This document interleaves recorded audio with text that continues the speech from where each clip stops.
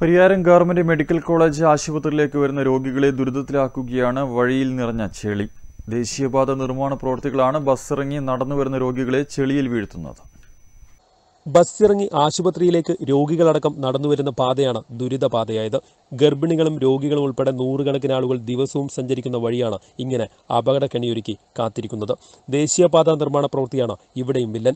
പുതിയ പാത നിർമ്മിക്കുന്നതോടെ ബസ്സിറങ്ങി നടന്നുപോയിരുന്ന പഴയ വഴി അടച്ചു. വഴിയടച്ച് സർവീസ് റോഡ് പണിഞ്ഞതോടെയാണ് ജനം പെരുവഴിയിലായത്. ഇപ്പോൾ കോളേജ് കവാടത്തിന് മുന്നിൽ വരുന്ന മേൽപ്പാലത്തിന്റെ അടിഭാഗത്തു കൂടിയാണ് ആശുപത്രിയിലേക്കുള്ള നടവഴി. പ്രധാന പാതയിൽ നിന്ന് സർവീസ് റോഡിലേക്ക് കയറ്റം കയറണം. ഇവിടെ ജില്ലിപ്പൊടി വിതറിയാണ് നടക്കാൻ സൗകര്യമൊരുക്കിയത്. ഇതിലൂടെ മുകളിലേക്ക് കയറണമെങ്കിൽ സർക്കസ് പഠിക്കണമെന്ന് നാട്ടുകാർ പറയുന്നു. മെഡിക്കൽ കോളേജിലേക്ക് വരുന്ന രോഗികളും അവരെ ഒന്നിച്ചു വരുന്നവരെല്ലാം ഇതിൽ കൂടെ കയറുമ്പം വഴുതി വീഴലും അങ്ങനെ ഒരു സൗകര്യം ഇവിടെ ഇല്ല. അത് അത് അധികൃതരുടെ മുമ്പിലെ ശ്രദ്ധയിൽപ്പെടുത്താൻ ആഗ്രഹിക്കുകയാണ്. മഴ കനത്തതോടെ വെള്ളക്കെട്ട് കാരണം വഴി ചെളിക്കുളമായി. ഇതും യാത്ര ദുസ്സഹമാക്കി. നാട്ടുകാർ വഴുതി വീഴുന്നത് പതിവായി. ചളിയിൽ ചവിട്ടി വേണം ഇവിടെയും നടക്കാൻ. തൊട്ടടുത്ത ആശുപത്രിയിലെത്താൻ ഓട്ടോ പിടിക്കേണ്ട ഗതികേടിലാണ് ജനങ്ങൾ.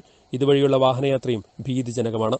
ദിവസേന നൂറുകണക്കിന് രോഗികളും അവരുടെ കൂടെയുള്ളവരും അടക്കം രണ്ടായിരത്തോളം പേർ എത്തുന്ന ആതുരാലയത്തിന് മുന്നിൽ റോഡ് പണിയെടുക്കുമ്പോൾ നല്ല വഴിയൊരുക്കിയില്ലെന്ന് മാത്രമല്ല പാലിക്കേണ്ട പ്രാഥമിക മുൻകരുതൽ പോലും സ്വീകരിച്ചതുമില്ല.